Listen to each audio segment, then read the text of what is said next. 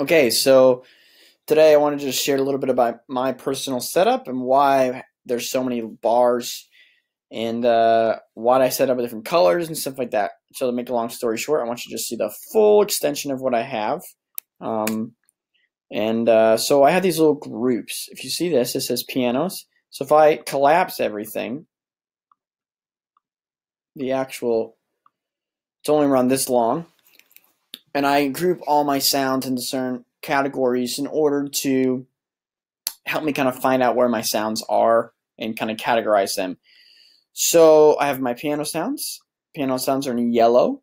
And so if I push this little button here, it opens up. I only have one piano sound that I use. Most likely it's from a, a VST, which we'll talk about later. But I, I have that one I use most of the time. And then I have my string sounds. So if I tap this, uh, hang on. If I tap if I tap this, it will pull, pull up the two string sounds that I have. One of them is sustained, and then one of them is staccato. So, so what I'll do is I'll arm them both. I'll bring them up and down. Those are the two sounds that I have that are strings. Then I also have organs. They're in purple. If I open up my organs, I have a jazz organ and a church organ that I will use. And uh, it, dif- it, di- it differentiates like in di- different settings. If I want more of a jazz style, I'll use jazz. More for like a church, the old fashion organ, I'll use one of those. And then I have leads. I have tons of leads, as you can see, um, because I feel like there's many different types of lead sounds. So I kind of created these different ones of bass, bass synth leads, huge leads. I, I labeled these myself in order to help me find out what it sounded like. Um, so I have all these kind of here that I'll use. And then I'll have flutes and bells flutes and bells are in light blue. I'll open this up. This is a flute sound, pan flute, and a, a bells kind of sound, like a, a xylophone kind of sound with lots of reverb on it.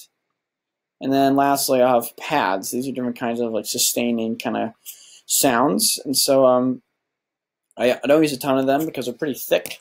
And uh, I kind of get my point across with like usually these three are my main ones. I'll use these sometimes, but not, I've recently cut down on how many I use. And then lastly, I use, this is my drum patch. This is what I, uh, I have certain sounds you see here. These are like six sounds that I use. And then uh, these are just different kind of things that I'll use for my drum patch. And so it's kind of how I organize it to make it really short and, and sweet. But say if I was looking for, say I was looking for something, you know, um, something kind of I want to see or look at, and so, uh, say I'm looking for, uh, I need to get to my my organ sound. I'll just tap this, and then I'll on this track, and then I'll be there immediately. So um, that's what I like about this. It's really quick, easy to access and get to. So that's kind of my setup. I um, how you do this, I believe you can um, do it. You, you just click on it, and this normally is group tracks, but because this is a grouped um, sound, you can ungroup it. But you would tap that, and then you could click and drag whatever kind of sounds you want in underneath this this group track, and you can like section them off in the way you see best fit. So that's kind of basically how I run my setup with Ableton Live.